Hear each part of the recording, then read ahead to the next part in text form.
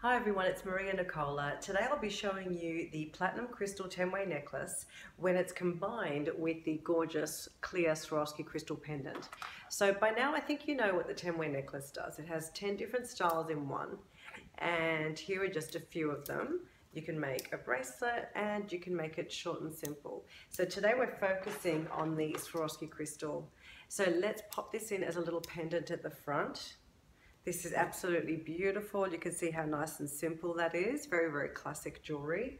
Then we can add the rest of the uh, triple stranded necklace in.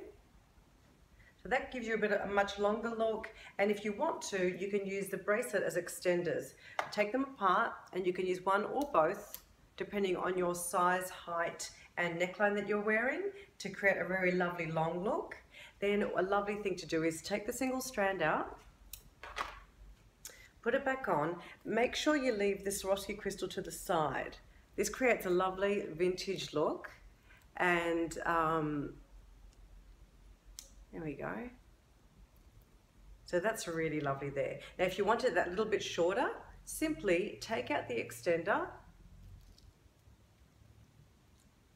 for a look that finishes at the base of the neck. So that's really lovely there. So that one that I just showed you is the Platinum Crystal 10-way necklace with the clear Swarovski crystal pendant.